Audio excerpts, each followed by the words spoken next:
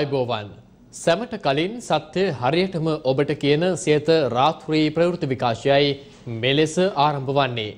මම රසික සඳරුවන් ඉදිරිමාන්න ප්‍රථමේ නවධානය පුවත් සිරස්ථල වෙත. උදෑසන පාසල් ආ ගුරුවරු දහවල් වීදි බසී.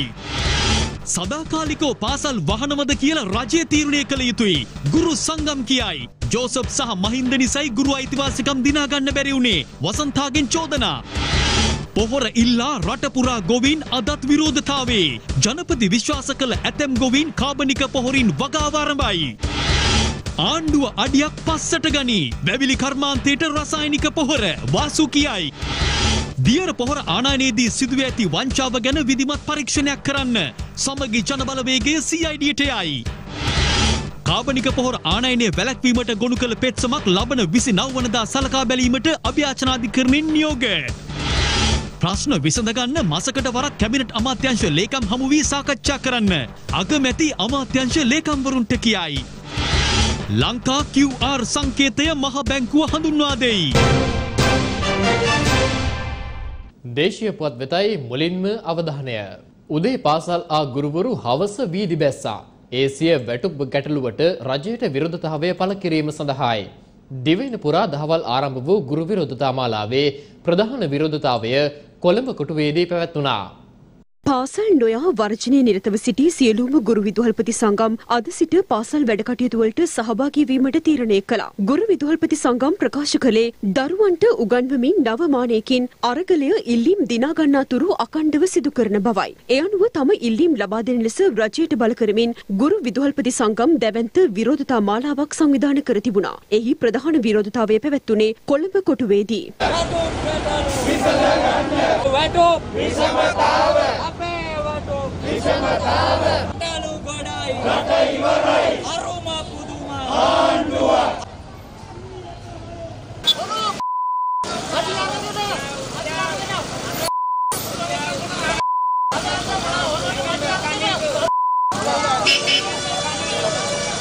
ගුරුවරු විදුවල්පතිනක සාකච්ඡා කරන්න මෙයාට බෑ.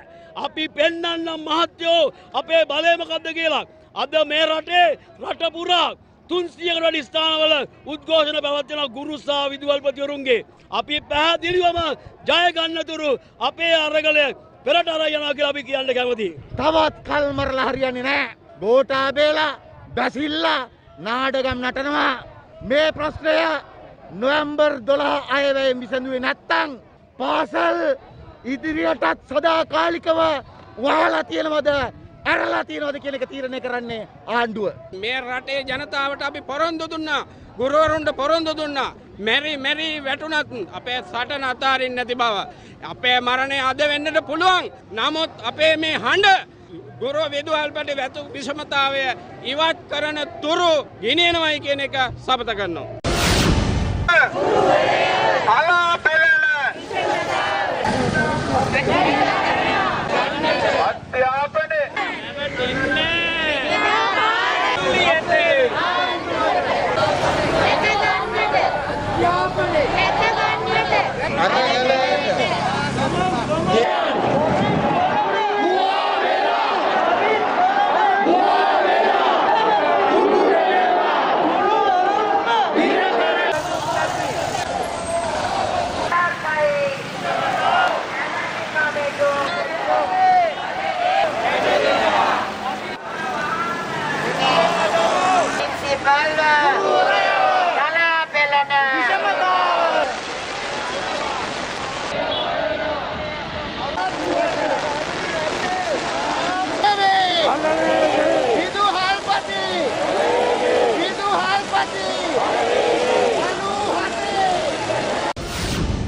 වැටුප් පරගලයටත් හැමෝම උද්ඝෝෂණය කළා. දිනාගණ්ඩ තිබිච්ච දේවල් අහිමි වෙලා තියෙනවා. මේකට සම්පූර්ණයෙන්ම වග කියන්න ඕනි ජෝසප් ස්ටාලිනුයි මහින්ද ජයසිංහයි. ඔවුන් ඔවුන්ගේ දේශපාලන අරමුණු ජයග්‍රහණය කරන්න තමයි කටයුතු කළේ. මේක ගුරුවරුන්ගේ අවාසනාවන්ත තත්ත්වයක්. මේ ආ- රජයෙන් තමයි යමක් දිනාගණ්ඩ පුළුවන්කම තිබුණේ. රසායනික පොහොර ඉල්ලා අදත් රටවටා ගොවීන් විරෝධතාවේ නිරත වුණා. උතුරුමැද ගොවීන් පිරිසක් ජනාධිපතිවරයා පිළිබඳ විශ්වාසය තබා කාබනික වගාවෙන් ගොවිතැන් කරන්න සූදානම් වනවා. මේ අතර කාබනික පොහොර ආනයනය වැළැක්වීමට ගොනු කළ පෙත්සමක් සලකා බැලීමට අභ්‍යර්චනාධිකරණය අද දින නියම කළා. විදේශීය රටවලින් කාබනික පොහොර ආනයනය කිරීම වැළැක්වීමේ නියෝගයක් නිකුත් කරන ලෙසට ඉල්ලා ගොනු කළ පෙත්සමක් සලකා බැලීම සඳහා ලබන 29 වනදා කැඳවන ලෙසට අභ්‍යචනාධිකරණය නියම කර තිබෙනවා. මෙම පෙත්සම අද මෝසමක් මාර්ගයෙන් සෝබිත රාජකරුණ සහ ධම්මික ගණේපොළ යන මහතුරුන්ගෙන් සමන්විත අභ්‍යචනාධිකරණ විනිසුරු මඩුල්ලක් ඉදිරියේ කැඳවනු ලැබූ අවස්ථාවේදී එම නියෝගය සිදු කළා. පරිසර යුක්ති කේන්ද්‍රය විසින් මෙම පෙත්සම ඉදිරිපත් කර තිබුණා. මේ අතර රසායනික පොහොර ඉල්ලා ඇලහැර ගොවිජන ව්‍යාපාරයේ රාජ්‍ය ගොවි සංවිධාන 41ක ගොවි නියෝජිතයින් ආරම්භ කළ අකණ්ඩ උපවාසයට අදට දින දෙකක් ගත වනවා. ඊයේ රාත්‍රියේ උපවාසය පැවති අට්ටාලය අසලට පැමිණි ඇලහැර ප්‍රාදේශීය ලේකම්වරිය ගොවීන්ට උපවාසය අවසන් කරන ලෙසට ඉල්ලීමක් කළද ගොවීන් ඊට එකඟ නොවී සිය උපවාසය අකණ්ඩව සිදු කරන බව සඳහන් කළා. මේ අතර නාච්‍යදුව ගොවි සංවිධාන සහ ජනතා විමුක්ති පෙරමුණ විසින් සංවිධානය කළ ගොවි උද්ඝෝෂණයක් කුඩා නෙළුබැව මන්සන්දයේදී අද පැවැත්වුණා. විරෝධතාකරුවන් පොහොර ගැටලුව සම්බන්ධයෙන් ගොවිජන සේවා නිලධාරීන්ට සහ ප්‍රාදේශීය ලේකම්වරයාට සංදේශයක් බහර දීමට කටයුතු කළා. මේක එතුමාලාට යොමු කරා. හරි. සමග ජන බලවේගය විසින් සංවිධානය කරන ලැබූ විරෝධතා ව්‍යාපාරයක් අද කහටගස්තිගිලිය ප්‍රදේශයේදී පැවැත්වුණා. ඔවුන් කහටගස්තිගිලිය නගරයට පැමිණ ඉන් අනතුරුව පොල් ගසා දේව කන්නලව්වක්ද සිදු කළා. ඒ හාමුදුරුවනේ මේ ආණ්ඩුව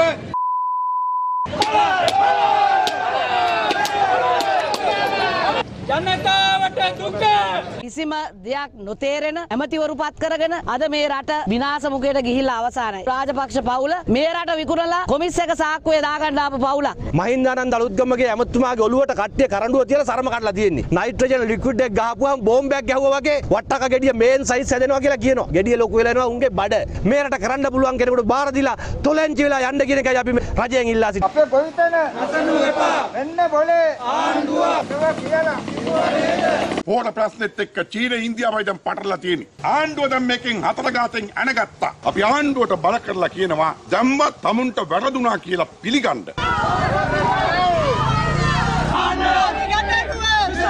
එම සංදේශය බාරගෙන ඔබතුමාගේ නිලධාරීන්ට බාර දීලා අපි මේ කටයුතු කරගෙන යන්න අවස්ථාව උදා කළ දෙන්න ඉල්ලා සිටිනවා.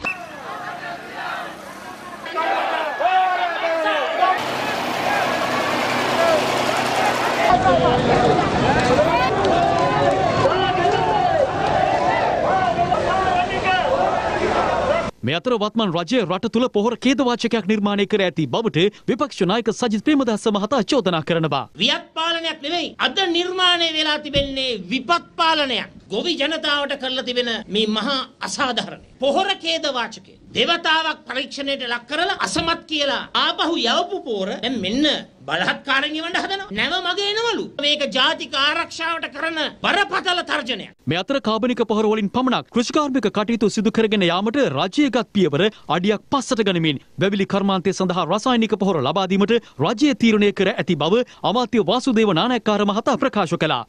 වැවිලි කර්මාන්තයට රසායනික පෝර දීමට අපි ආපස්සට අඩියක් ගන්න. වැවිලි කර්මාන්තයට උමනා රසායනික පෝර ගේනු. අපිට හොඳ හිතින් වුණත් වැරදි තීන්දුවකට යන්න බෑ. අපිට පේනවා නම් ඒ තීන්දුව මේ වෙලාවේ ප්‍රායෝගික නෑ කිය. අපේ ජනාධිපතිතුමා අපි ඒ අනුව රසායනික පෝර ගේන්න ඕන තැන්වලට ගේන්න හැටියට කටයුතු සංවිධානය කරනවා. රටවටා ගොවින් මෙලෙස උද්ඝෝෂණවල නිරත වෙද්දී ඇතැම් ගොවින් කාබනික පොහොර වගාවෙන් සිය මහකන්නේ වගා කටයුතු මෙවන විට ආරම්භ කර ඇති බවට තොරතුරු වාර්තා වනවා.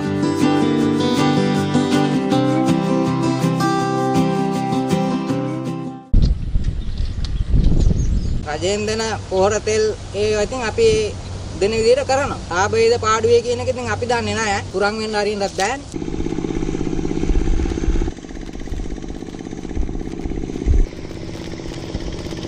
අපි උද්ඝෝෂණ වලට යන්නේ රජයෙන් පෝර දෙයි කියන බලාපොරොත්තුෙන් අපි මේ දේ කරගෙන යනවා දැන්. වෙන මොකද කරන්නේ මහත්තයා? ඉතින් අපේ ජීවනෝපාය මේකනේ ඉතින්. මීට කලින් කරලා නැහැ ඉතින්. නමුත් කොහොම හරි කරන්න වෙනවනේ. ජනාධිපතිතුමා අපිට මොකක් හරි සාධාරණයක් කරයි කියන විශ්වාසයට තමයි අපි මේ බහැලා වැඩේ පටන් ගත්තේ. පොහොර දෙනවා කියලා බලාපොරොත්තුවක් තියෙනවා රජයෙන්. ජනාධිපතිතුමාගේ විශ්වාසයෙන් තමයි වැඩ කරනවා.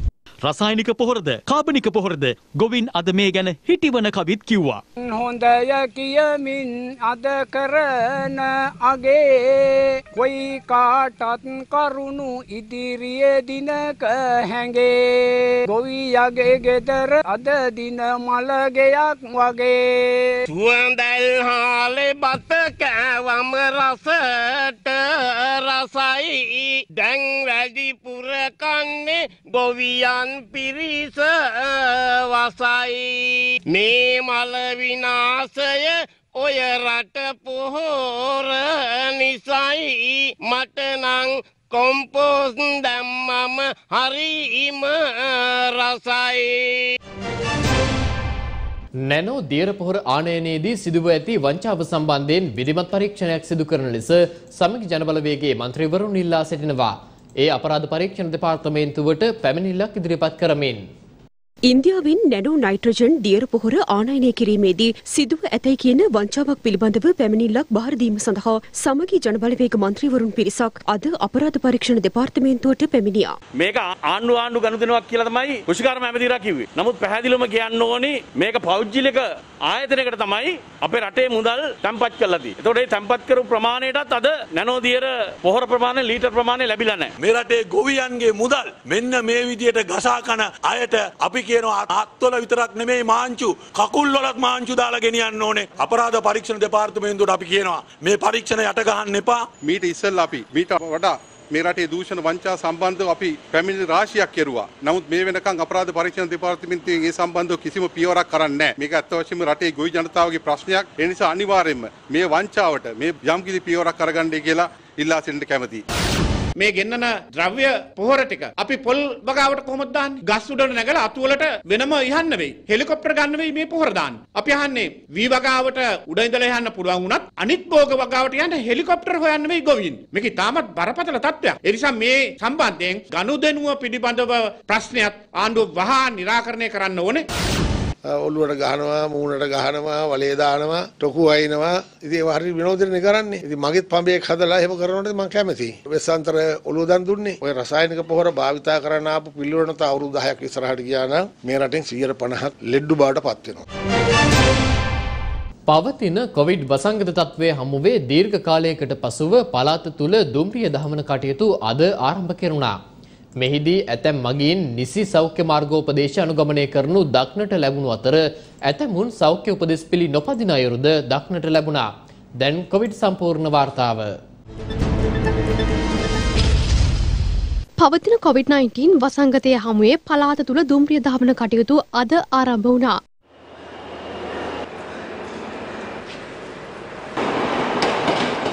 ඉදිරියේදී මගින්ගේ වැඩිවීමත් සමග එහා සමගාමීව දුම්රිය ප්‍රමාණය වැඩි කිරීමට හෝ එම ගමන් ගන්නා දුම්රිය වල ධාරිතාව වැඩි කිරීමට අපි කටයුතු කරනවා. ඒ සඳහා අද දින දුම්රිය දෙපාර්තමේන්තු කාර්ය මණ්ඩලය විමසීමක් කරුවා පැමිණෙන මගින් සංඛ්‍යාව පිළිබඳව ස්ථාන කිහිපයකදී. 3000කට වැඩි ප්‍රමාණයක් පමණයි මුදුන මාර්ගයේ අද දින දුම්රිය භාවිතා කරලා තියෙන්නේ. බලාපොරොත්තු වෙන ඉදිරියේදී ප්‍රමාණය වැඩි වෙයි කියලා. ප්‍රවේශ පත්‍ර නිකුත් නොකරමින් දුම්රිය දහවන කටයුතු ආරම්භ කිරීමට ගෙන ඇති තීරණයට විරෝධය පළ කරන බවයි දුම්රිය ස්ථානාධිපතිවරුන්ගේ සංගමය පවසන්නේ. මේ මොහොතේදී දුම්රිය නිකං ධාවනය වෙලා රජය මේ ආර්ථික අපහසුතාවයකින් ගත කරන කාල සීමාවේදී විශාල වැයක් දරනවා දුම්රියක් ධාවනය කරන්න මේ තියෙන තත්වයකදී තවත් පාඩු පිට දුවන ආයතනයක් තවත් පාඩුවට ලක් කරන්න ඇයි කටයුතු කරන්න කියන එක අපිට ප්‍රශ්නයක්. අපි කියන්නේ අත්‍යවශ්‍ය සේවා සඳහා යන මගින් නියාමනයකින් යුතුව ප්‍රවේශ පත්‍ර නිකුත් කරලා දුම්රිය ගෙන යන්න පුළුවන්. ඒකට දුම්රිය ස්ථානාධිපතිවරුන් විදියට අපි සූදානම්.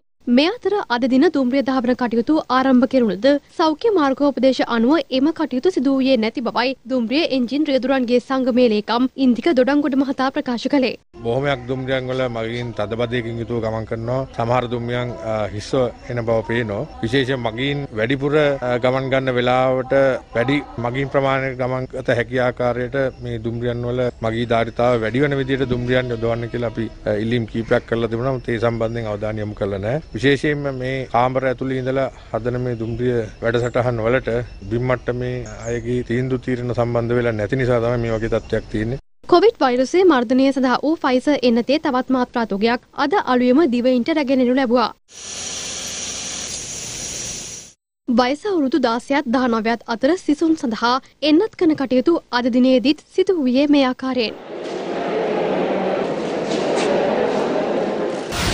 අලුතෙන් රෝගීන් වාර්තා වීම අත- ඉතාම අඩුයි. මේකට හේතුව හැටියට අපිට හිතන්න පුළුවන් අ, මේ ගත්තා වූ අ, එන්නත් කරණයේ සාර්ථකත්වය කියලා තමයි මට හිතෙන්නේ. ඊට අමතරව දැන් රෝගය හැදුණු කට්ටිය මාස 3-4ක් යනකම් නැවත හැදෙන්නේ නැහැ කියලා අපේ විශ්වාසයක් තියෙනවා. අධික ජනගහන ඝනත්වයක් තියෙන තැන්වල රෝගී හැදුණු අයගේ අ, ප්‍රමාණය වැඩි වීමත් එක්ක අලුතෙන් රෝගය හැදෙන්න කට්ටියක් අ, ඉතුරු වෙන්නේ නැති එකත් එක හේතුවක් වෙන්න පුළුවන්. ඉතින් මේ තත්ත්වය හොඳයි. ඉතින් අපි මේ වගේ තත්ත්ව මීට කලින් අත්දැකලා තියෙනවානේ. මෙහෙම හොඳ වෙලා නැවත වැඩි වෙච්ච අවස්ථා තිබ්බා.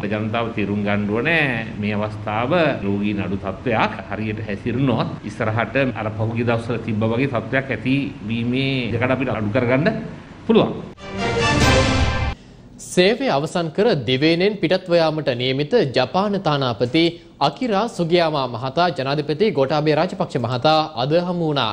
ඒ ජනාධිපති කාර්යාලයේදී දෙරට අතර දිගු කාලීන මිත්‍රත්වය ශක්තිමත් කරමින් අවශ්‍ය ඕනෑම මොහොතක ශ්‍රී ලංකාවට සහාය ලබා දීමට තමා උත්සාහ කරන බව මෙහිදී ජපාන තානාපතිවරයා ජනාධිපති ගෝඨාභය රාජපක්ෂ මහතා හමුවේ පැවසුවා.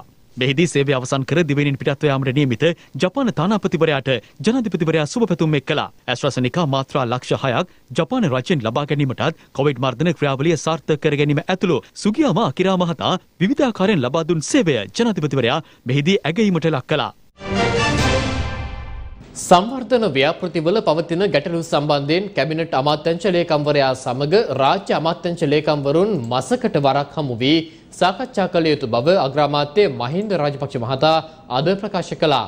ඒ අරලිය ගහ මන්දිරයේ පැවති සාකච්ඡාවකදී ජාතික භෞතික සැලසුම් දෙපාර්තමේන්තුවේ හා විදේශාධාර මත ක්‍රියාත්මක ව්‍යාපෘති හතරක හා වෙරළ සංරක්ෂණ හා පහත්බිම් සංවර්ධන රාජ්‍ය අමාත්‍යංශයේ රාජ්‍ය ආයතන තුනක දෙවෙනි කාර්තුවේ ව්‍යාපෘති ප්‍රගතිය විමසා බැලීම සඳහා අරලියගහ මන්දිරයේදී අද පෙරවරුවේ මෙම සාකච්ඡාව පැවැත්වුණා.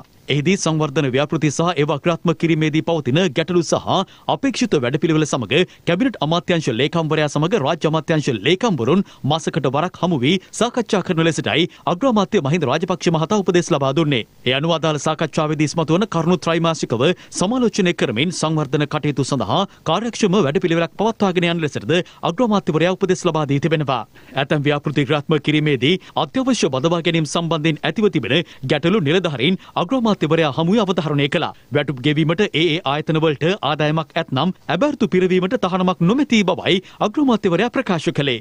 මෙම සාකච්ඡාවේදී MV එක්ස්ප්‍රස් පර්ල් නෞකාවෙන් ශ්‍රී ලංකාවේ සමුද්‍රීය පරිසරයට වූ හානිය පිළිබඳව අග්‍රාමාත්‍යවරයා අවධානය යොමු කළා.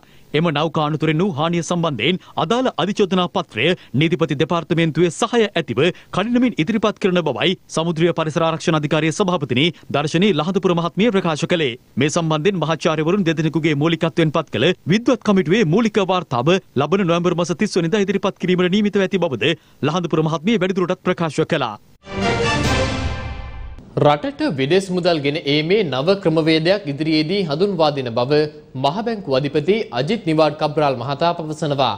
ඒ අද මහබැංකු පරිශ්‍රයේ පැවති උත්සවයකට එක්වමින්. කාසි සහ මුදල් නෝට්ටු භාවිතා නොකොට ගනුදෙනු කිරීමේ ලංකා කිව්වර් කීතය හඳුන්වා දීමේ උත්සවය අද ශ්‍රී ලංකා මහ බැංකුවේදී සිදු වුණා. ඒ මහ බැංකුව අධිපති අජිත් නිවාඩ් කබ්‍රල් මහතාගේ ප්‍රධානත්වයෙන් මෙම අවස්ථාවට අමාත්‍ය නාමල් රාජපක්ෂ මහතා ඇතුළු පිරිසක්ද එක්ව සිටියා. ඇමරිකානු ඩොලර් බිලියන 7ක පමණ මුදලක් ශ්‍රී ලංකාවට මැද පෙරදිග සහ වෙනත් රටවල් හරහා ප්‍රේෂණය වෙනවා. ඒ අපේ විදේශ විනිමය සහ විදේශ ගිණුම හොඳින් සම්බන්ධීකරණය කර ගැනීමට හොඳින් පාලනය කර ගැනීමට ඉතා විශාල රුකුලක් වෙලා තියෙනවා. ඒ වුණත් අපි දන්නවා වෙනත් මාර්ග හරහාත් මුදල් මේ රටට ප්‍රේෂණය වෙනවා. ඒ නිසා සමහර විට අපිට රටට ලැබෙන්නට තියෙන මේ මුදලට වඩා අඩු මුදලක් තමයි අපිට නිල වශයෙන් රටට එනවයි කියලා ගණනය කරන්න වෙලා තියෙන්නේ. මේ මුදල් එවන අයට තවත් ශක්තිමත් කිරීමක් කරන්නට අවශ්‍යයි. මා ඒ සඳහා අවශ්‍ය වෙන පසුබිම හරිගස්සලා මේ රටට නව මුදල් ගලා එන්නට කටයුතු කරන්නටත් අපි බලාපොරොත්තු වෙනවා කියන ඒ ඉංගියත් මා අද ලබා දෙන්නට කැමතියි. අපි තවම බොහෝ අංශයන් වල ඩිජිටලයිසේෂන් ගැන කතා කරනවා. හැබැයි වෙනසට යන්න අපි දෙපාරක් කල්පනා කරනවා. මොඩර්න් කරන්සි වලට අපි කතා කරනවා නම් අපිට අමුතුවෙන් රිසර්ච් කරලා ඒ පිළිබඳව අධ්‍යයනය කරන්න අවශ්‍යතාවයක් නැහැ. ලෝකේ බොහෝ රටවල් මෙය භාවිතා කරනවා. ඒ වගේම තමයි අපේ රටේ ගමේ ජනතාවට පවා තාක්ෂණය අමුතුවෙන් දෙන්න දෙයක්වත් නැහැ. දැන් ලබන අවුරුද්ද මුල කාර්තු වෙනකොට අපි නැෂනල් ID එක ඩිජිටලයිසේෂන් වලට අපි යනවා. ඒ තුල ලෝකයේ තියෙන ඉහළම තාක්ෂණයේ සහිත ජාතික හැඳුනුම්පතක් අපේ රටේ ජනතාවට ලබන අවුරුද්ද ලැබෙනවා. හැබැයි රටක් විදියට මම හිතන්නේ අපි සැබෑ වෙනසකට ඒ තීන්දුව తీරන වලට අපි යන්න ඕනේ. දෙදහස් විසිතුන වසර වන විට දුම්රිය දෙපාර්තමේන්තුව ලාභ ලබන තත්ත්වයට පත් කිරීමට කටයුතු කරන බව අමාත්‍ය පවිත්‍ර වන්‍යාරච්චි මහත්මිය පවසනවා. ඒ ප්‍රවාහන අමාත්‍යංශ සංවිධානය කළ විශේෂ වැඩමුළුවකට එක්වෙමින්.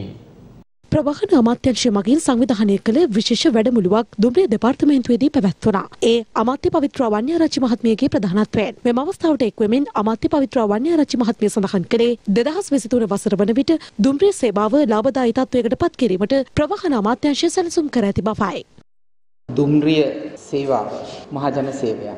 එය මහජනතාවට සේවාව සැපයීම සඳහාම තියෙන ආයතනයක්. මෙය සේවාවක් වගේම ලාභදායී ආයතනයක් බවට පත් කිරීම. දුම්රිය දෙපාර්තමේන්තුව මං හිතනවා කාල වෘත්තීමය නිපුණතාවයකින් යුතු මානව සම්පතක් තියෙන දෙපාර්තමේන්තුව. අපට භෞතික සම්පත් වශයෙන් ඊටාම වාණිජමය වටිනාකමක් තියෙන භෞතික සම්පත් තියෙන දෙපාර්තමේන්තුව. දැන් අපිට නැත්තේ මේ තියෙන මහා දැනුම් සම්භාරයක් අත්දැකීම් තියෙන මේ මානව සම්පතයි මේසා විශාල වාණිජමය වටිනාකමක් තියෙන භෞතික සම්පතුයි එකට එකතු කළා තුම්රිය ආර්ථිකමය වශයෙන් ලාභදායී ආයතනයක් බවට පත් කරන්න තියෙන සැලැස්මක් තමයි අපිට දැන් නැත්තේ. දේශපාලන වේදිකාවේ පළ වූ අදහස් කිහිපයක් දැන්. මේ ලෝකයේ තියෙන තත්ත්වයේ බැරෑනුම්කම අපේ රටේ විපක්ෂ නායකතුමාට තේරෙනවා නම් එහෙම එතුමා වෙන රටක පදිංචියට යනවා. බඩු මිල පහ තේලව් කියලා වෙලා උද්ඝෝෂණය කළාට කාට හරි බැන වැදුනට තමන්ගේ වෛරය පහ කරගන්න විතරයි පුළුවන්කම ලැබෙන්නේ. ප්‍රශ්නෙට කවදාක්වත් විසඳුමක් ලැබෙන්නේ නැහැ. හැටනම ලක්ෂයක් අරගෙන තුනෙන් දෙකේ බලයත් අරගෙන හොඳ විදායක ජනාධිපති කරෙක් ඉඳෙද්දී Tamanට ඕන විදිහට මේක තීන්දුව අරගෙන කටයුතු කරන්න පුළුවන් කොන්දක් මේ ජනාධිපතිවරටවත් මේ අගමැතිවරටත් මේ කැබිනට් එකටවත් නැහැ. රෝග බෝවීම වළක්වීම සඳහා වැඩපිළිවෙලක් ආණ්ඩුවට නැහැ. අපි දකිනවා මේ ආණ්ඩුවටත් උපදෙස් දෙන සමහර වැරදි උපදේශකයෝ ඉන්නවා. අනේ නිසා විශේෂයෙන් මේ ආණ්ඩුවේ නායකයන්ගෙන් අපි ජාතිය නාමයෙන් මහජනතාවගෙන් නාමයෙන් අපි ඉල්ලා හිටිනවා යම් තීන්දුව తీරන ගන්ට පෙර ආතුව දෙවතාවක් සිතා බැලීම වැදගත් කියලා. ආණ්ඩුවේ හෙංචයිලට අපි කියනවා මේ තප්පුලන්න එපා උඩුබුරලන්න එපා අපේ සටන අපි අතාරින්න ආණ්ඩුවට තියෙන ඔක්කොම අනවශ්‍ය වීදම් කරන්න අනිකුත් සීලු සංවර්ධනයට සල්ලි තියෙනවා. අපි කියන ආණ්ඩුවට සෙල්ලම් කරන්න ලෑස්ති වෙන්න එපා ගුරුරුත් එක්ක කියලා. අපේ පක්ෂය තීන්දුව කරන්නේ හෙටද තනතුරු දාලා එළියට යන්න කිසිම පසුබට නැtei කියන එක මම සාධික වශයෙන් කියලා තියෙනවා. අපි එළියට ගිහිල්ලා කොහෙටද වැටෙන්නේ? අර පාර්ලිමේන්තුවේ ගිහිල්ලා සජිත් ප්‍රේමදාසගේ පස්ස පැත්තේ වාඩි වෙලා සජිත් ප්‍රේමදාසගෙන් කිරියල්ලගෙන් කතා ඉල්ලන්න අපිට ඒගොල්ලන්ගේ ළඟට යන්න පුළුවන්ද කියන ප්‍රශ්නේ අපිට තියෙනවා. එහෙම නැත්නම් අසාර්ථක වෙච්ච රනිල් වික්‍රමසිංහ නැවත පුම්බන්න යනවද කියලා ප්‍රශ්නේ අපිට තියෙනවා. එහෙම අපි කවදාවත් මොහොතකටවත් අපි ගිහිල්ලත් නැහැ. අපි කවදාවත් යන්න සූදානමකුත් නැtei කියන එක අපි ඉතාමත් පැහැදිලිව කියනවා. අධිකරණයෙන් වාර්තා වූ පුවත් කිහිපයක් වෙතයි අවධානය. හිටපු අමාත්‍ය රංජන් රාමනායක මහතාගේ ආන්දෝලනාත්මක හඬපට සිද්ධියෙන් අනාවරණය වීමෙන් පසුව මහධිකරණ වෙනසුරු ගිහන් පිළිපිටිය මහතාට එරෙහිව නීතිපතිවරයාගේ උපදෙස් මත නොගේගොඩ මහේස්ත්‍රාත් අධිකරණය හමුවේ ආරම්භ කරනු නඩු කටයුත්ත අහෝසි කරමින් අභ්‍යාචන අධිකරණය අද රීට ආචාවක් නිකුත් කළා. එමෙන්ම මහාධිකරණ විනිසුරු ගිහන් පිළිපිටිය මහතා අදාළ නඩු කරේ සැකකරුවෙකු වශයෙන් නම් කිරීමට නීතිපතිවරයා තීරණය කරද නීතිපතිවරයාගේ තීරණයද අහෝසි කිරීමට තවත් රීට් ආචාවක් අධිකරණය විසින් නිකුත් කරනු ලැබුවා. මහාධිකරණ විනිසුරු ගිහන් පිළිපිටිය මහතා විසින් ඉදිරිපත් කළ රීට් පෙත්සමේ තීන්දුව දෙමින් සෝබිත රාජකරුණා සහ ධම්මික ගණේපොළ යන මහතුරුන්ගෙන් සමන්විත අභ්‍යාචන අධිකරණ විනිසුරු මඩල විසින් මෙම නියෝගය ලබා දී තිබුණා. ආගමික කණ්ඩායම් අතර එදිරිවාදිකම් උත්සන්න කිරීමට ක්‍රියා කළේ යයි චෝදනා එල්ල වී සිටින බස්නාහිර පළාත් හිටපු ආණ්ඩුකාර අසත් සාලි මහතාට අද කොළඹ මහාධිකරණය හමුවේ අධිචෝදනා පත්‍ර බහර දුන්නා. මෙම නඩුව අද කොළඹ මහාධිකරණ විනිසුරු අමල් රණරාජා මහතා ඉදිරියේ කැඳවනු ලැබුවා. එම අවස්ථාවේදී රක්ෂිත බන්ධනාගාරගත කර සිටින අසත් සාලි මහතා බන්ධනාගාර නිලධාරීන් විසින් රෝද පුටුවකින් අධිකරණයට ඉදිරිපත් කර තිබුණා. අසත් සාලි මහතා වෙනුවෙන් පෙනී සිටි ජනාධිපති නීතිඥ මෛත්‍රී ගුණරත්න මහතා තම සේවාදායකයා අපමත මුදා හැරීම සම්බන්ධයෙන් නීතිපතිවරයාගේ ස්ථාවරය විමසා සිටින බව දැනුම් දුන්නා. එම අප ඉල්ලීමට මෙම අවස්ථාවේදී විරුද්ධ වන බවයි නීතිපතිවරයා වෙනුවෙන් පෙනී සිටි ජ්‍යෙෂ්ඨ රජයේ නීතිඥ වසන්ත පෙරේරා මහතා ප්‍රකාශ කළේ. දැන් රටවටා පුවත් කිහිපයක් කෙටියෙන්. ගුවන් හමුදා රණවිරුවන් අනුස්මරණය කිරීමේ බෞද්ධාගමික පූජෝත්සවයක් පසුගියදා මහනුවර ශ්‍රී දළදා මාලිගාවේදී පැවැත්වුණා. ඒ ගුවන් හමුදාධිපති එයා මාර්ෂල් සුදර්ශන පතිරණ මහතාගේ ප්‍රධානත්වයෙන්. කලාවැව ජාතික උද්‍යානයේ වෙසෙන තනිදලයා නම් වූ හස්තයාගේ ශරීරයේ හටගත් තුවාල කිහිපයක් හේතුවෙන් මේ දිනවල ප්‍රතිකාර කරන බව අපට වාර්තා වුණා. වනජීවී නිලධාරීන් විසින් රණව රක්ෂිතය තුළ සිදු කළ පැය කිහිපයක මෙහෙයුමකින් පසු මෙම හස්තයා සොයාගෙන තිබෙනවා. මෙලෙස තුවාල ලබා ඇතේ කලාවැව ජාතික උද්‍යානයේ මෙතෙක් හමුව ඇති තනිදල ඇතා නම් වීම විශේෂත්වයක්. අපරීක්ෂාකාරී රියදාවනය හේතුවෙන් මැදවච්චිය කැබතිකොල්ලැව මාර්ගයේ රියානතුරක් සිදුව තිබෙනවා. අනතුරින් කැබ් රථයකට සහ කාර් රථයකට දැඩි අලාභ සිදුව ඇති බවයි මැදවච්චිය පොලිසිය පවසන්නේ. පන්දුවාර විස්ස ලෝක කුසලාන තරගාවලියට සමගාමීව පැවැත්වෙන සියත අබාන්ස් ක්‍රිකට් බොනන්සා තරගේ පසුගිය සතිය ජයග්‍රාහකයන් සඳහා ලක්ෂ ගණනක් වටිනා ෆුල් HD TV සහ ස්මාර්ට් ජංගම දුරකථන ලබා දීම පසුගියදා සිදු වුණා. ඉතාම උද්වේගකර ක්‍රිකට් තරගාවලියක් සියත TV ඔස්සේ නරමන ඔබට ක්‍රිකට් එක්ක ඔබටත් දිනන්න අවස්ථාව ලබා දෙමින් සියත අබාන්ස් ක්‍රිකට් බොනන්සා තරගාවලිය ආරම්භ කරනු ලැබුවා. තරගාවලිය සියලුම තරඟ නරමන ඔබට රුපියල් මිලියන ගණනක් වටිනා අඟල් 43 Full HD TV සහ ස්මාර්ට්ෆෝන් දිනා ගැනීමේ අවස්ථාව මේ හරහා ඔබට හිමි වනවා. ඒ අනුව දෙවන ඉනිමේ 15 වන පන්දුවාරයට පෙර ඔබ විසින් තරඟේ ජය ගන්නා කණ්ඩායම සහ තරඟේ වීරයා නම් කර මේ වටිනා ත්‍යාග දිනා ගැනීමේ අවස්ථාව හිමි වනවා. එලෙස පසුගිය සතියේදී SMS මගින් ජයග්‍රහණය ලැබූ ජයග්‍රාහක ජයග්‍රාහිකාවන් ඊයේ දින සියත TV ආයතන පරිශ්‍රය තුලදී ඔවුන්ට හිමි ජයග්‍රාහී ත්‍යාග ලබා ගත්තා. ජයග්‍රාහකින්ට මෙම ත්‍යාග ලබා දීම සඳහා අබන්ස් PLC ආයතනයේ ඉහළ පෙළේ නිලධාරීන් ඔපෝ ශ්‍රී ලංකා ආයතනයේ ඉහළ පෙළේ නිලධාරීන් සහ රියල්මි ශ්‍රී ලංකා ආයතනයේ ඉහළ පෙළේ නිලධාරීන් එක්ව සිටියා. උෂාරා සෙව්වන්දි තමයි අබාන්ස් වෙතින් ෆුල් HD අඟල් 43 ටීවී එකක් දිනා ගන්න වාසනාවන්තිය බවට පත්වෙන්නේ.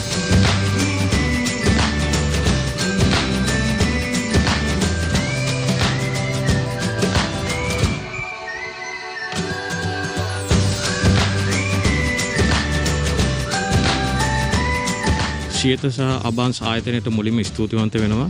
ඒ වගේම ඔබ සැමට ආරාධනා කරනවා World Cup T20 සියත සමග නරඹා අබාන්ස් වෙතින් ලබා දෙන අඟල් 43 වර්ණ රූපවාහිනිය සහ Oppo ෆෝන් දිනා ගැනීමට පුළුවන් පුළුවන් තරම් SMS කර දිනා ගැනීම ලෙස. මට මේ අවස්ථාව සලසලා දුන්නේ සියත ටීවී ආයතනය T20 ලෝක කුසලාන තරඟාවලිය නරඹලා ඔබ හැමදෙනාම වැඩි වැඩියෙන් SMS කරලා මේ ජයග්‍රහණය හා එකතු වන්නට කියලා මා ආරාධනා කර සිටිනවා. සියත ඔබන්ස් ක්‍රිකට් බොනන්සා ක්‍රිකට් එක්ක ඔබත් දිනන්න. ඒත් සමගින් සියත රාත්‍රී ප්‍රවෘත්ති විකාශය අවසන්. යළිත් හමුවෙමු හෙට උදෑසන 6ට අපගේ උදෑසන ප්‍රවෘත්ති විකාශයත් සමගින්. ඔබට සුවදායි රාත්‍රයක්.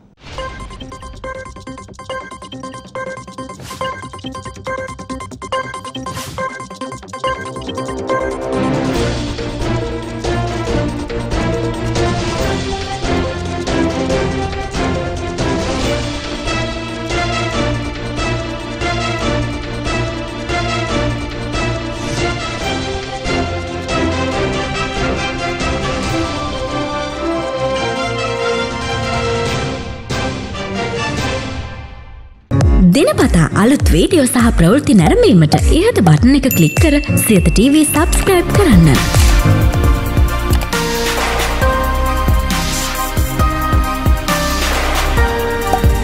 අලුත් වීඩියෝ ගැන මුලින්ම දැනගන්න මෙම සීනුව ක්ලික් කරන්න.